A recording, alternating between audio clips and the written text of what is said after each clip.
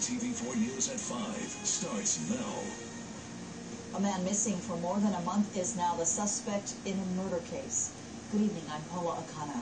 A mysterious death that has baffled police on the Big Island since May just took a big step forward. KITV4's Lara Yamada has been working the story. She joins us live now with this key today. update. Lara.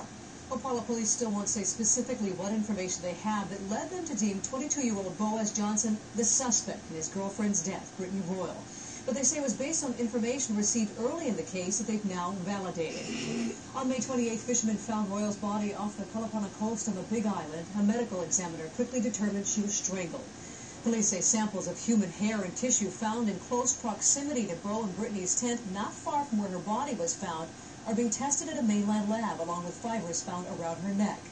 But investigators now say Johnson was not the man seen staying at a Pahoa hostel after Royal's death, and they have not been able to confirm any sightings of him. They believe it is possible, if he's alive, he may have somehow left the island. We spoke with Brittany and Bo's family today. Am I happy that he's a suspect? Absolutely not. Um, I, I'm just, I, I'm glad that it's, it's at least moving